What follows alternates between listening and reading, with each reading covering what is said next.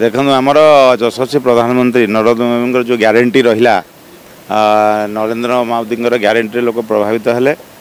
ଆଉ ପର୍ଟିକୁଲାର ଓଡ଼ିଶାରେ ଯେଉଁ ପଚିଶ ବର୍ଷର ତାଙ୍କର ଯେଉଁ ମନମୁଖୀ ଶାସନ ରହିଲା ଗୋଟେ ଲୋକ ହାତରେ ଓଡ଼ିଶାର ପ୍ରତ୍ୟେକ ଶାସନ ଡୋରି ରହିଲା ତେଣୁ ଲୋକ ବ୍ୟତିବ୍ୟସ୍ତ ହୋଇ କିଛି ପରିବର୍ତ୍ତନ ଚାହିଁଲେ। ଏବଂ ମୋଦି ବାବୁଙ୍କର ଲହର କଲା ଯେଉଁଟାକି ମୋଦି ଲହର କଲା ଲୋକ ସ୍ୱତଃପ୍ରଭୁତ୍ୱ ଡବଲ ଫୁଲରେ ଚାଲିଲେ। ଲୋକ ପଚିଶ ବର୍ଷ ତ ଗୋଟେ ଶାସନ ଦେଖିଲେଣି ତାପରେ ଗୋଟେ ସରକାର ନରେନ୍ଦ୍ର ମୋଦି ସରକାର ଲୋକଙ୍କୁ ଭଲ ଲାଗିଲା ଗ୍ୟାରେଣ୍ଟି ଦେଲେ ନରେନ୍ଦ୍ର ମୋଦି ସବୁ ସ୍କିମ୍ ଚାଲିବ ଲୋକମାନଙ୍କ ପାଇଁ।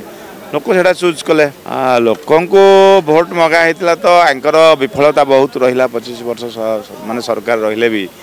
ମାନେ ସାଧାରଣ ଲୋକ ଯେତିକି ସୁବିଧା ମୌଳିକ ସୁବିଧା ପାଇବା କଥା ସେଠୁ ପାଇଲେ ନାହିଁ।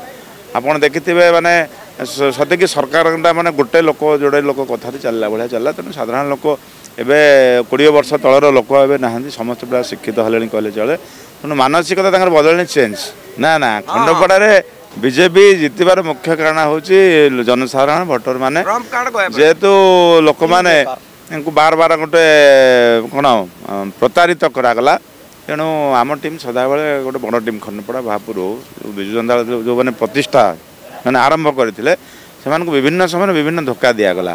ତେଣୁକରି ନିଶ୍ଚିତ ଆର ଗୋଟେ ନରେନ୍ଦ୍ର ମୋଦିଙ୍କର ଲହର ଏବଂ ତାର ଗ୍ୟାରେଣ୍ଟି ଏବଂ ଲୋକମାନଙ୍କ ମଧ୍ୟରେ ସରକାର ଓ ଦଳ ପ୍ରତି ଅସନ୍ତୁଷ୍ଟ। ସେଇଟା ତ ମୁଁ କହିପାରିବି ନାହିଁ। କିନ୍ତୁ ନିଶ୍ଚିତ ବିଜେଡ଼ି କିଛି ଭୁଲ ନିଷ୍ପତ୍ତି ନେଲା ସାରା ଓଡ଼ିଶାରେ ପରିବର୍ତ୍ତନ ହେଇଥିଲେ ବି ଖଣ୍ଡପଡ଼ାରେ ପରିବର୍ତ୍ତନ ହେବାର ସମ୍ଭାବନା ନଥିଲା। ତେଣୁ ନିଷ୍ପତ୍ତି ଭୁଲ ଯୋଗୁଁ ନିଶ୍ଚିତ ଖଣ୍ଡପଡ଼ା ଗୋଟେ ବଡ଼ ପରିବର୍ତ୍ତନ। ମୁଖ୍ୟମନ୍ତ୍ରୀ ଆମର ଯେଉଁ ବିଜେପି ଗୋଟେ ଶୃଙ୍ଖଳିତ ଦଳ ତାଙ୍କର କେନ୍ଦ୍ରୀୟ ନେତୃତ୍ୱ ଯାହା ନିଷ୍ପତ୍ତି କରନ୍ତି ସବୁ ରାଜ୍ୟରେ ତାହା ମାନି ନିଅନ୍ତି। ତେଣୁ ନିଶ୍ଚିତ କେନ୍ଦ୍ର ଯାହା ନିଷ୍ପତ୍ତି କରିବେ ଅଛନ୍ତି ଯେଉଁ କେନ୍ଦ୍ରୀୟ ନେତୃତ୍ୱ ସେ ଯାହା ନିଷ୍ପତ୍ତି କରିବେ ହେବ।